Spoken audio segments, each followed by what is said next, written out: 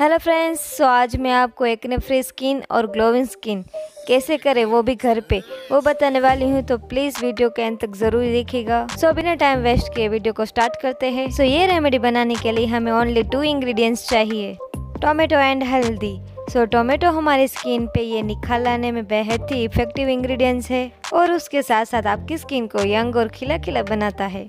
क्या आपको पता है टोमेटो में क्या होता है? इसमें विटामिन सी, एंटीऑक्सीडेंट और पोटेशियम होता है।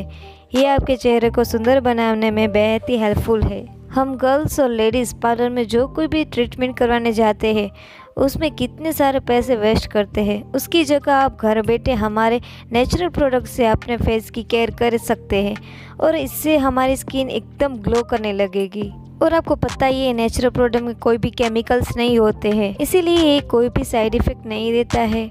हम पार्लर में जाके जो कोई ट्रीटमेंट करवाते हैं, आपको पता भी नहीं है उसमें कितने बुरे बुरे केमिकल्स ऐड हुए होते हैं। वो आपकी स्किन को एकदम से डल कर देगा।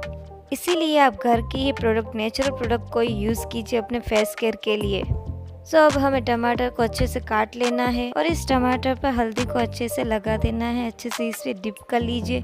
पूरे टमाटो में अच्छे से मिक्स हो जाना चाहिए। सो आप देख सकते हैं, मैंने ये कर दिया है। देन आपको फेस वॉश करके अच्छे से ये मसाज कर देना है। टमाटो से अच्छे से मसाज कीजिए।